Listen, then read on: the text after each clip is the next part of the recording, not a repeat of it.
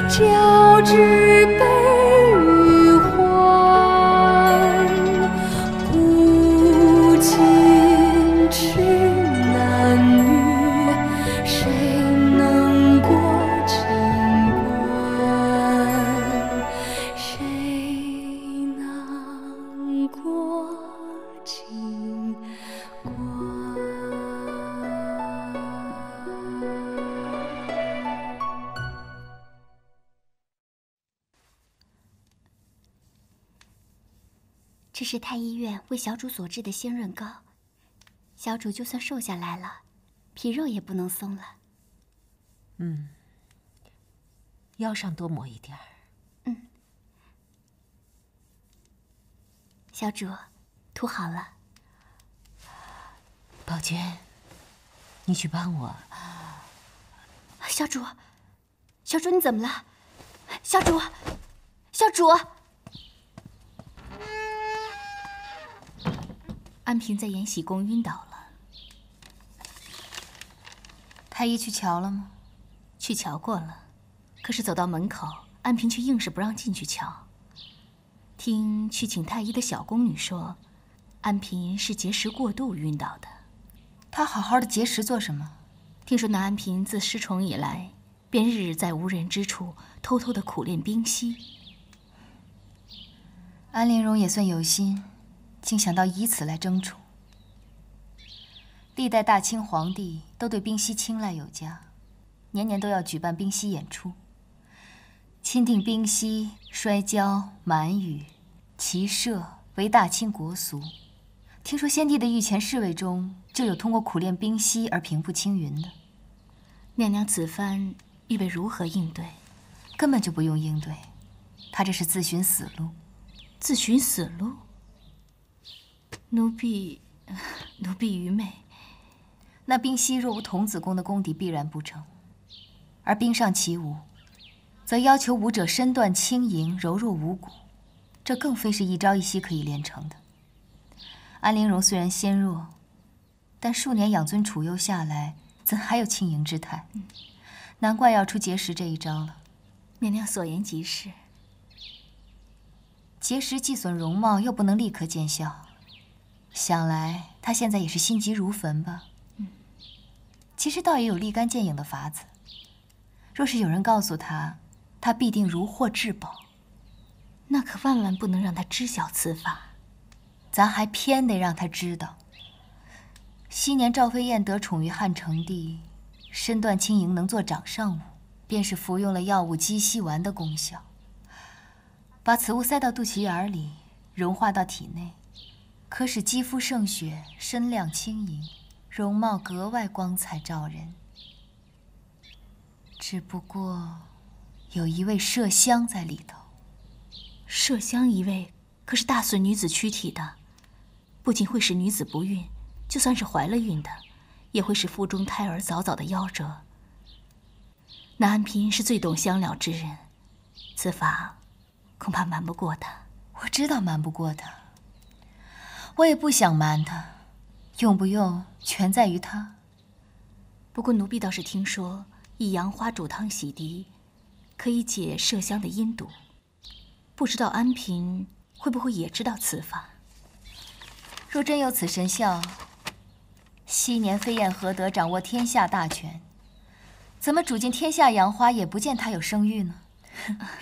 叫他知道也好，只当杨花有效，用起来更肆无忌惮了。西鸡丸拿去给安嫔了吗？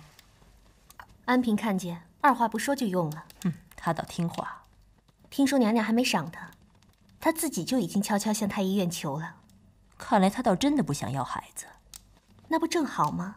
省得咱们费手脚了。是啊。没孩子的人，本宫用着安心。这药丸功效显著，小主这些日子确实先瘦了不少。只是这药太厉害了，奴婢担心。有什么可担心的？明儿就是除夕了，我知道它里头的麝香含量有多少。奴婢泡了一锅杨花汤，娘娘快去泡着吧。反正这些年喝下的各类汤药也不少，泡不泡都一样。小主一直没能怀上皇上的孩子，看来您得想想办法。受制于人，连怀孩子都不能自己拿主意。你知道我有多恨吗？可是宝娟，我没有办法，我不得不听皇后的。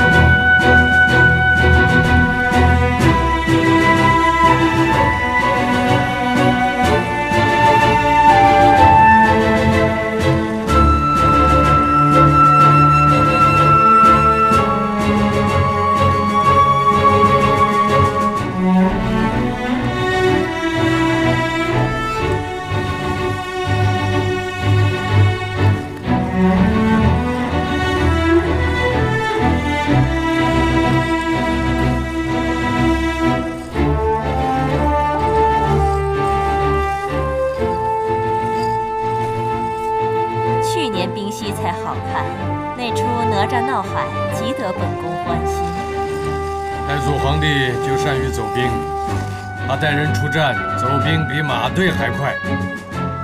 听说皇上当年还是四王爷的时候，年年兵上比骑射都能拿到好彩头。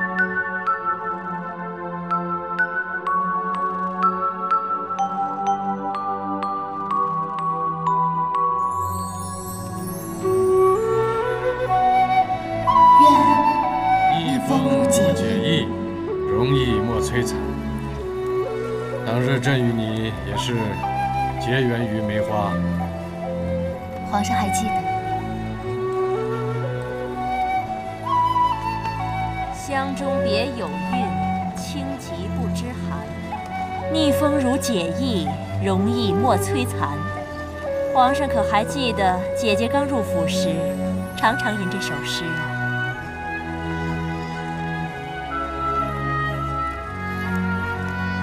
想不到纯元皇后也和臣妾一样欣赏梅花孤洁之姿。纯元与你同是性情纯净之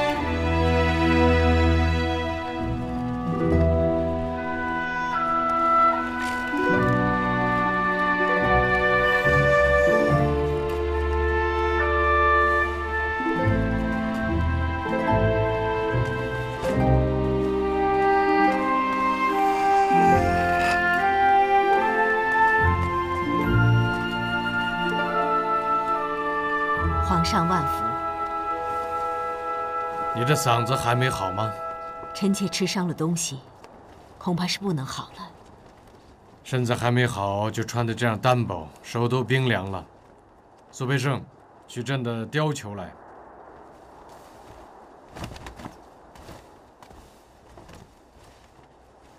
天寒地冻，不要冻坏了身子。可惜了，你的嗓子。失之冬雨，收之桑榆。安嫔虽然损了嗓子，可方才冰上一舞，真是赛过飞燕呢。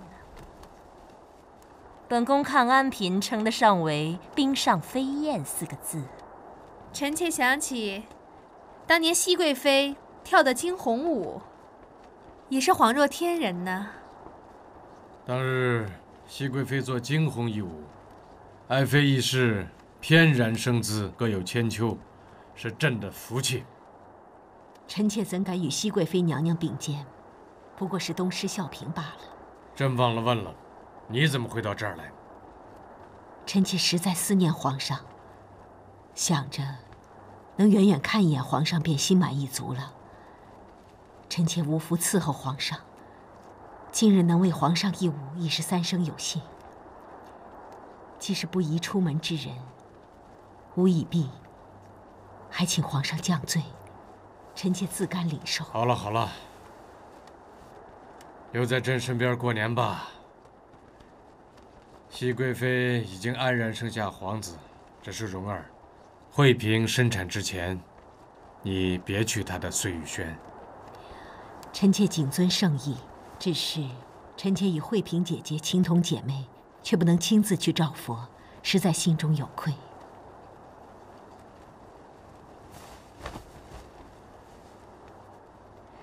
妩媚。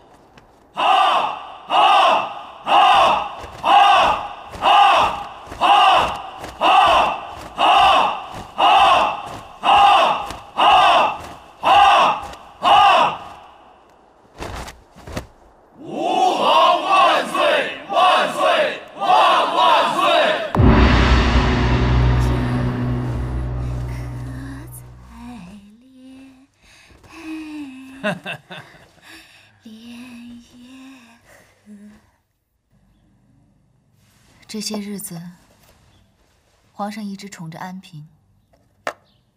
再这样下去，封妃也是指日可待。也真难为了她。容貌呢，不是一等一的出挑，还是那样的家庭，又没有子嗣，竟也熬到今天这位分。她不就是一味的装可怜吗？偏偏皇上又是这样喜欢的不得了。哼，不只是皇上，换做天下男人，个个都喜欢的不得了。小主这镯子一直收着，怎么今儿取出来了？这东西还是原来皇上赏的。如今这样的好东西已经少见了。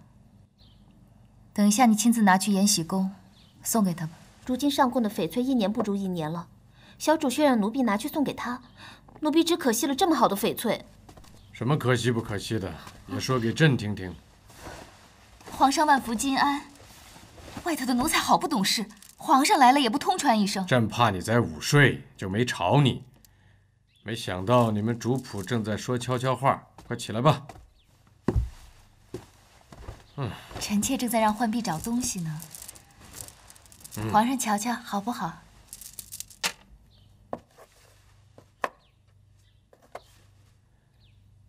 这仿佛是朕上回赏你的东西，你一向不舍得戴，好好的寻它出来做什么？正因为臣妾不舍得戴，才要拿出来去送给安妹妹。连浣碧都说，这样好的翡翠若不配美人，放着也可惜了。皇后也赏了不少东西，光内务府封的东西也够丰厚的了。安妹妹的东西丰厚是一回事，臣妾的心意又是另外一回事。只是要拿着皇上赏的东西去借花献佛了，还得要问问皇上依不依呢。朕倒瞧着，最近你手上多了个珊瑚手串，倒是挺好看的。珊瑚，原不是什么名贵的东西，只是安妹妹喜欢翡翠，臣妾才投其所好。皇上倒替安妹妹念着臣妾旁的东西了。蓉儿出身不高，胆子又小。宫里不喜欢她的嫔妃多了去了，唯独你这么多年与她情同姐妹，实在难得。嬛嬛，有件事，朕有些为难。嬛嬛未必能为四郎解忧，可是很愿意听一听。是你父母，恐怕不能很快入宫来看你。为什么？瓜尔佳氏联络群臣反对，上谏说朕因宠失政。其实皇上未必不知道，当年臣妾母家之事大有莫须有的嫌疑。而且皇上也要为鸿雁的将来考虑，总不能让他的外祖父永远是罪臣。皇上能否考虑重查当年之事？齐贵人在宫里，并无什么大错。瓜尔佳氏一族也暂时无隙可查。若贸然翻查过去之事，只会让朝廷动摇不安。臣妾可以等。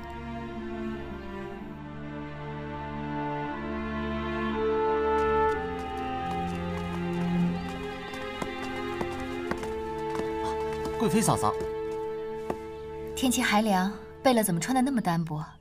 该加些衣裳才是。多谢贵妃嫂子关照。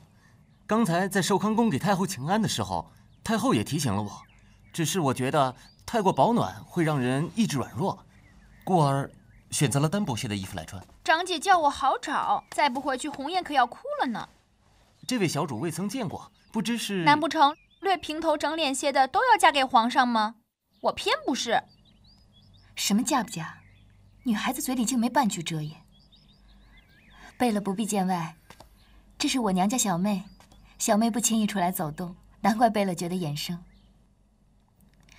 小妹从小长在边远之地，实在不懂规矩，还请贝勒不要见笑。还不见过沈贝勒。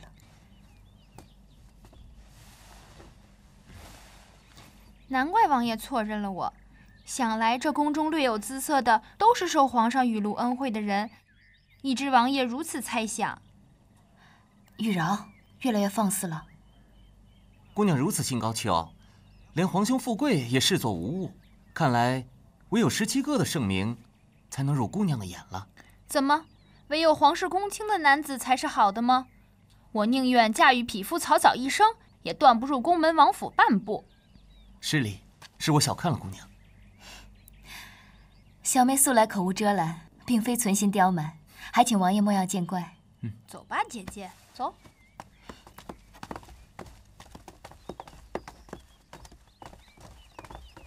你今儿是怎么了？怎么心里有什么事儿，老兜着笑不出来似的？我哪里想笑了？你有什么事儿还想骗我？哎，别藏了，跟你十七哥说说。看到一个姑娘，脾气大得很，而且呀，很瞧不上咱们。咱们有什么好啊？不过就是出身皇家，保不齐还兄弟相残，被削了爵位的大有人在，没有什么可羡慕的。十七哥，别说这些丧气话，走，咱们赛马去。走，撤，撤，撤，撤，撤，撤。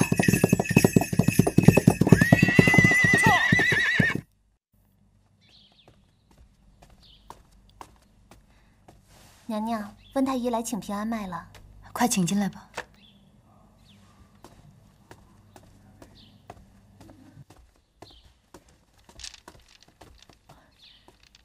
微臣给娘娘请安。不必多礼。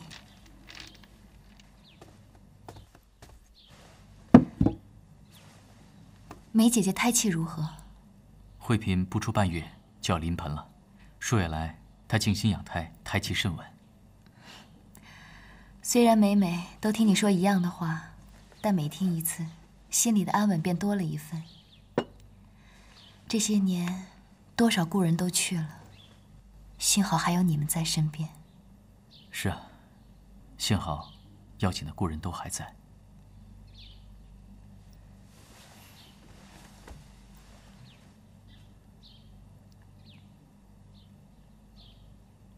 对了，甄伯父的病已经见好转了。微臣得空去看看他，您放心吧。本宫出入宫禁不方便，父亲那边还得劳烦你。惠嫔平安生产之后，微臣会多去看看甄伯父的。长姐，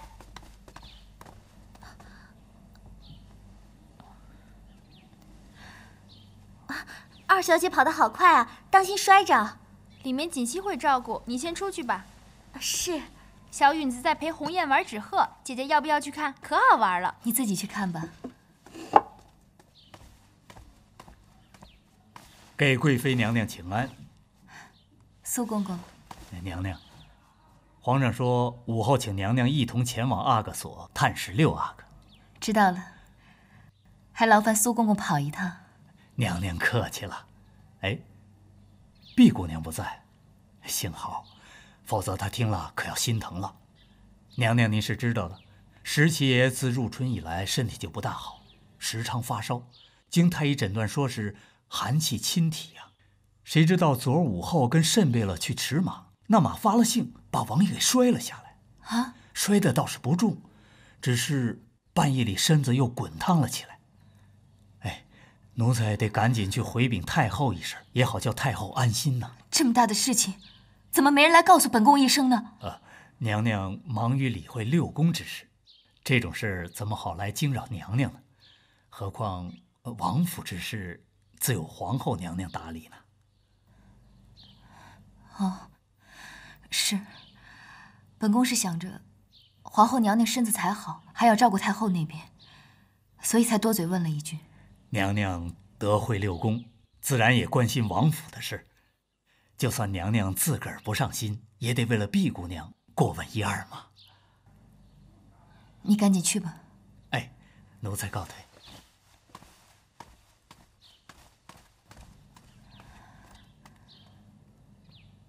玉娆，我身子乏了，你去和鸿雁、灵犀玩吧。嗯。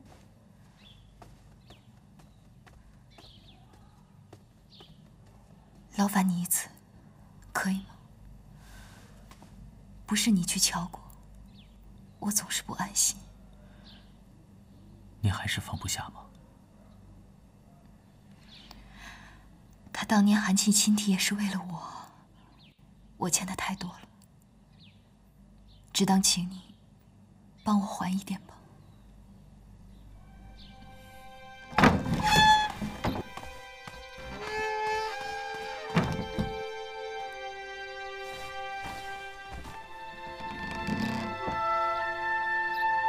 担心他的身子。去瞧瞧他吧。我做不到的事情，你去也好，总会多一个人安心。真的，只是奴婢应该怎么出去？你去告诉苏培盛一声，他会成全你的。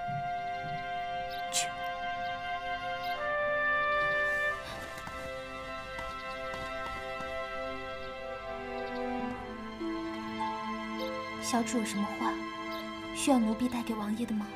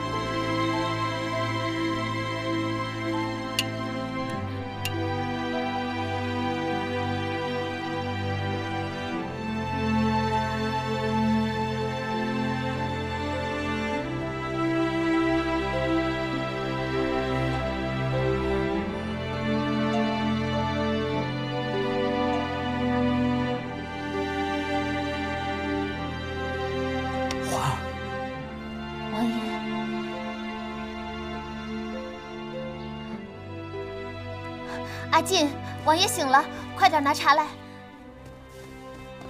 王爷，您醒了。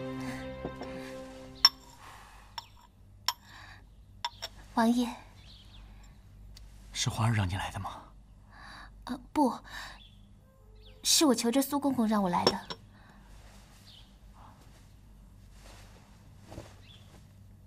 多谢这些日子你对我的照顾。宫里还有事儿，你去帮环儿吧，她一个人也不方便。啊，不急，宫里还有锦溪嘛。王爷身子不适，要是我没有把王爷照顾好，谁都不会安心的，那我就白出宫一趟了。随你吧。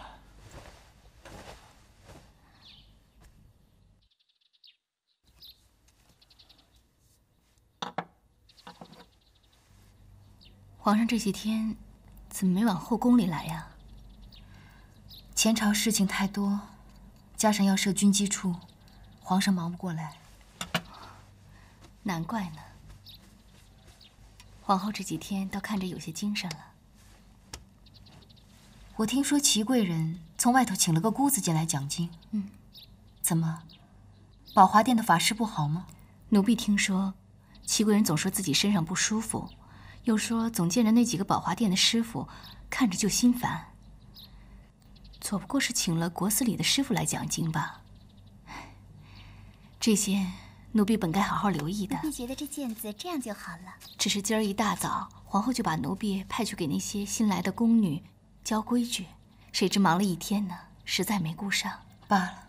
对了，苏培盛今儿来说，王爷的体热退了，但还需要静养几天。又说，浣碧姑娘大概还要再留侍几天才行。有时，我还真有些羡慕浣碧。姐姐是羡慕浣碧能出宫吗？我瞧这永寿宫虽大，但是望出去的天四四方方的，总不及宫外自由。是啊，我羡慕浣碧时常能出去逛逛。姐姐别以为我贪玩，我是心甘情愿留在这儿陪你的。哎，这凤仙花是花房培育出来的新种，叫醉胭脂，染在指甲上可好看了。也难得它们春日里就育出来，姐姐用着多好啊！给贵妃娘娘请安。起来吧。皇后娘娘，请您即刻前往景仁宫一趟。什么事啊？事关紧要，娘娘问皇后就是。奴才不便回答。被叫。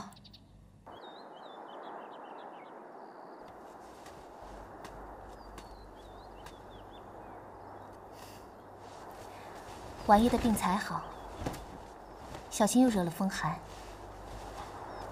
多谢。王爷要是谢我，那就是见外了。你看那天上的风筝，看着飞得那么高。其实只有游丝一线牵着，多不牢靠啊。原来王爷喜欢看风筝。不，我是觉得环儿现在的处境，就像那风筝。浣碧，嗯，我已经好了，你回宫帮环儿吧。王爷不必担心，娘娘有皇上，有皇上的孩子，他什么都不怕。齐贵人，你一定要向本宫告发熹贵妃，还要本宫请来后宫众人，到底所为何事啊？臣妾要告发熹贵妃私通，秽乱后宫，罪不容诛。宫规森严，齐贵人不得信口雌黄。臣妾若有半句虚言，便叫五雷轰顶，永不超生。哼，我还以为是什么毒誓呢？生死之事，谁又能知啊？以此虚妄之事赌誓，可见齐贵人不是真心的了。臣妾以瓜儿家世一族起誓，若有半句虚言，全族无后而终。你既说熹贵妃私通，那奸夫是谁呀？太医温实初。温实初是熹贵妃的心腹。日日都要把脉的，若说日久生情也是难怪。更何况我听说熹贵妃初入宫时卧病许久，当时就是温太医诊断的。康常在好记性，原来孽情深重，始于当日。两位妹妹怎么能如此揣测？熹贵妃入宫病重，由温太医诊治，乃是情理之中的事。温太医医术高明不说，与姐姐母家素日也有交情。入宫之后互相照应，也是应当的，怎么会有私通一说？如此说来，竟是青梅竹马了。看来齐贵人所说的，倒也不是全无道理。你们几个七嘴八舌、胡言乱语，有何证据吗？臣妾当然有凭证。熹贵妃入宫前，温实初还曾上门提亲。把陈四家的带上来。齐贵人，你先坐下。是。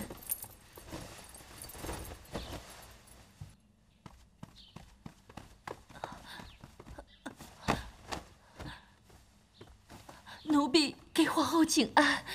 抬起头来说话。冰儿，你是冰儿？熹贵妃还认得她，她是我娘家府里陈四的媳妇。当年甄府获罪，所有奴仆全部充公变卖。要不是我家买了她，给她口饭吃，现在早就饿死街头了。冰儿，有什么话起来再说。奴婢不敢啰嗦什么？我只问你，昔日你在甄府当差，温实初是否曾向甄家大小姐，也就是你眼前这位熹贵妃提亲？皇后面前要大声回话，陈四没给你说规矩吗？选秀半月前，温太医曾上门提亲，不过，不过不是当着老爷夫人面说的，是私下里到熹贵妃面前说的。熹贵妃答应没有啊？没有，没有。熹贵，臣妾以为。如果熹贵妃和温太医有心的话，恐怕今日就不在宫中了。可见熹贵妃心胸坦荡，与温太医并无私情啊。哼，当日熹贵妃是看不上一个小小太医，但若熹贵妃从前并无半点意思，温太医又怎会贸然去提亲？可见是有青梅竹马的情分在的。臣妾不信青梅竹马，只相信缘分天定。百转千回也能相聚，绝非人力可改。齐贵人，本宫素来知道你与熹贵妃结怨已深，但是这口舌一生是非，断不可胡言乱语。如若真像你说的那样，熹贵妃和温太医有私情来往的话，那也要掩人耳目，不被人知道才行啊。若要人不知，除非己莫为。事情做多了，总有露马脚的时候。永寿宫的小宫女绯闻就见过几次。绯闻，你什么时候看见了什么，听到了什么？现在都一五一十的跟本宫说清楚。那日，娘娘和温太医说话，里头也没什么人伺候着，奴婢就陪着二小姐进去。谁知，奴婢就看见温太医的手拉着娘娘的手。两个人，你看着我，我看着你，静静的坐着。温太医一看见奴婢和二小姐进来，慌忙的撤了手。奴婢还瞧见温太医衣袖口子上翻出来一截，绣了一朵小小的五瓣竹叶。此后，奴婢越想越害怕，怕娘娘来日知道奴婢看见了，要杀奴婢灭口，只好祈求齐贵人做主。你只是一个小小的宫女就看见了，那你看不见的时候呢？岂不是这样的事情多了去了？事关重大，请温太医来景仁宫问话。这小主即将临盆，太后说外头的任何动静都不能惊动您。让开，熹贵妃受牵连，我必得去看看。此事必定会惊动皇上，皇上再怎么说也会帮着贵妃，您安心养胎就是。再不然，真有什么的，您再去也来得及呀。万事还是您腹中的胎儿要紧。那好吧。黄芪两千，东阿阿胶三千，党参五千。好，江公公。温大人，皇后娘娘请您即刻前往景仁宫一趟。下官。从不侍奉景仁宫，不知皇后娘娘为何要传召啊？那就得问您了，温大人，请吧。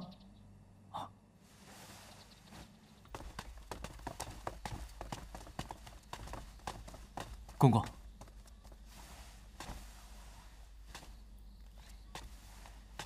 今日还没有给惠嫔娘娘请过平安脉，万一耽误了太后娘娘的吩咐，这罪孽可就大了。那你想怎么样呢？容下官进去请过脉，即刻便与公公去景仁宫。去吧。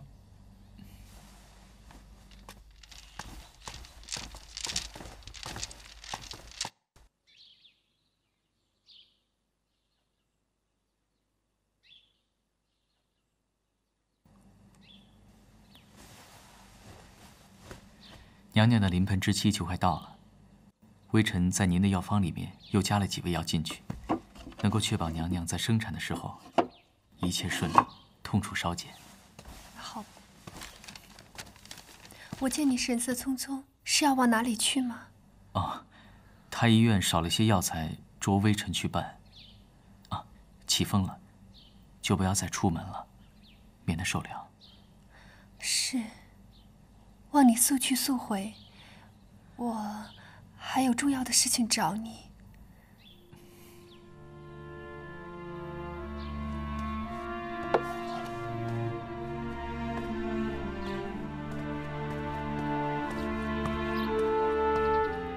启禀娘娘，温太医到了。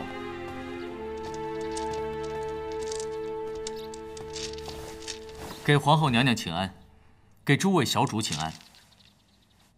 起来吧。温大人，得罪了。